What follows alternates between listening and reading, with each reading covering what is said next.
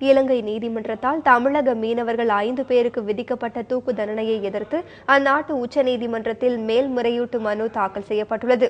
மியான்மருக்கு சுற்றுப்பயணம் சென்றுள்ள பிரதமர் மோடியின் குழுவில் இடம்பெற்றுள்ள வெளியுறவுத்துறை செய்தி தொடர்பாளர் சையத் இதனை தெரிவித்துள்ளார். இந்தியாவைச் சேர்ந்த மீனவர்கள் பத்திரமாக நாடு திரும்ப வேண்டும் என்பதில் மத்திய அரசு உச்சபட்ச கவனம் செலுத்தி வருவதாகவும் இதற்கு தேவையான சட்ட ரீதியான மற்றும் தூதரக ரீதியான நடவடிக்கைகள் அனைத்தும் மேற்கொள்ளப்பட்டு வருவதாகவும் சையத் தெரிவித்தார் தமிழக மீனவர்களான எமர்சன் அகஸ்டஸ் வில்சன் பிரசாத் மற்றும் லாங்லட் ஆகியோர் மீது போதைப்பொருள் கடத்தியதாக தொடரப்பட்ட வழக்கில் இலங்கை நீதிமன்றம் கடந்த முப்பதாம் தேதி தூக்கு தண்டனை விதித்தது குறிப்பிடத்தக்கது This judgment is uh, more than 200 pages lengthy. It is in Sinhalese. The lawyers are looking at it. The Indian High Commission has approached some of the best legal brains in Sri Lanka to have a look at it and they're examining what would be the best avenue to proceed to ensure that those five Indian nationals who are fishermen and against whom a judgment has been